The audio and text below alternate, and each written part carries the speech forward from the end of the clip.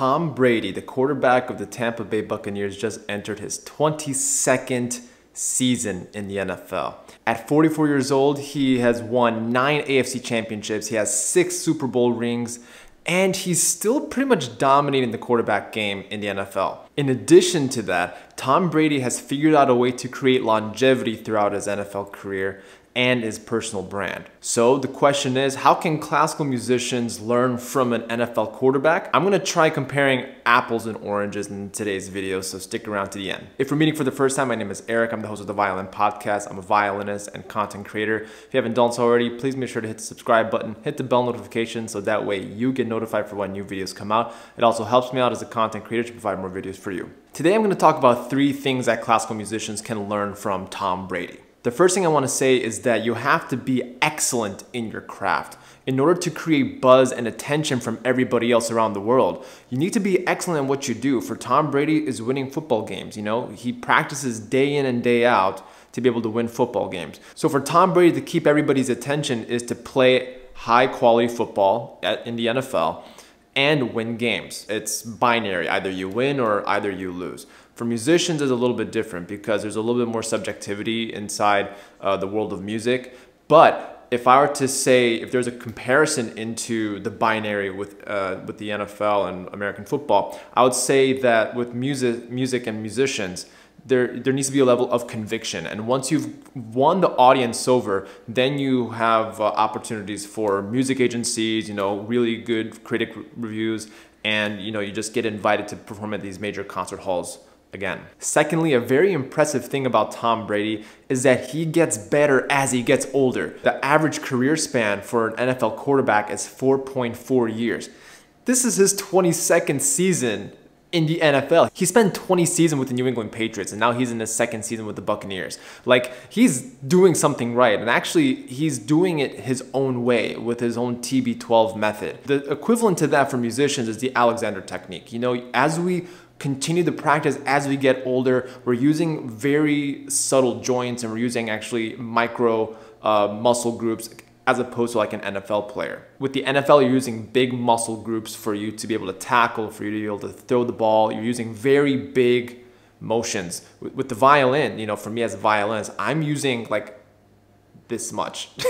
and we have to make sure that we take care of this tiny little joint. You know, these little joints are very important for musicians such as myself. How can we as musicians take better care of ourselves as we get older to prevent injury? It's all about preventative care. And once you understand your body and once you understand that you have to create a system that works around yourself for preventative care, you're gonna have longevity in your career because you're gonna be playing more, you'll be getting paid more for what you do, which is obviously, you know, a, a huge plus. For musicians, it could be the Alexander technique. You know, the Alexander technique focuses on you, you know, it really specifies the individuality of a person and how the body will work for you. Something that may work for me may not work for you. And I think that's really cool about Alexander technique. And I recommend, if you haven't heard about Alexander technique, I recommend you do your research, try to find an Alexander technician in your area to get to the root of the problem if you're experiencing any pain or you're feeling fatigue while you play your instrument because that's something that Tom Brady does so well. He is efficient with his body. He's efficient during the game. He doesn't make any movements that he doesn't have to when he's in the game. So yes, take care of yourself. I think that's really important for all athletes watching this video and for musicians. And leave a comment down below. Are musicians athletes?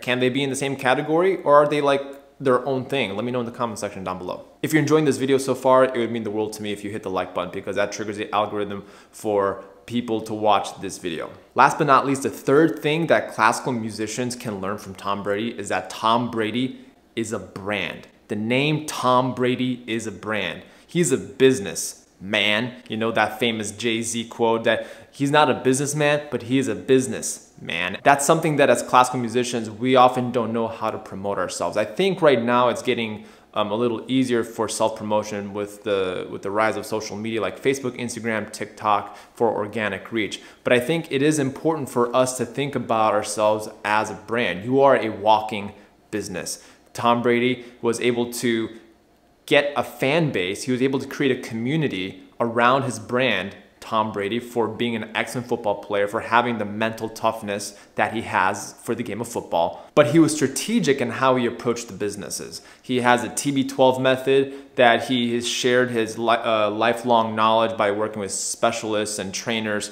to be more efficient with your body in everyday um, everyday tasks and also in sports. And he used that knowledge and he sold that knowledge for a business. And he gained the trust of people around the world because he is able to play in the NFL for 22 seasons. He's doing something right. So obviously he has something to say. He has a lot of things to share. But that doesn't mean that musicians can't do the same. You know, for us as classical musicians, it's performance. You know, we're always auditioning for the next orchestra audition or we're always auditioning and preparing for the next competition. But that doesn't necessarily need to be the case. You can compose music, you can sell music, you can do arrangements, you can do all sorts of things like re recording sessions. And those are just a sample of things that I just described, but there may be things that you know how to do outside of the classical music world that you can play. Like I had a very interesting um, recording session when I had to play a B half flat. You know, for all you musicians out there, you know, that's wild, right? For an Arab music, when I played the maqam in a recording session, that's a whole other story for a different time. But that's what I want to say is that you have the ability to kind of expand your your your knowledge so that way you are more marketable as a business so that way people can hire you people can purchase your products and more. Let me know in the comment section what you think of this video. You know, I try to compare apples and oranges and I don't know if there's a video out there that compared classical music to Tom Brady, but I felt like this was an interesting topic for me. And uh, let me know if you like this video and if you like more of these videos on the channel. Again, my name is Eric. I'm the host of the Violin Podcast. Thank you so much again for watching this video. If you liked the video, hit the like button. And if you want to subscribe for more content like this, hit the subscribe button, hit the bell notifications, so that way you get notified for when new videos come out. It helps me out as a content creator to provide more videos for you. Thanks so much, and I'll see you in the next one.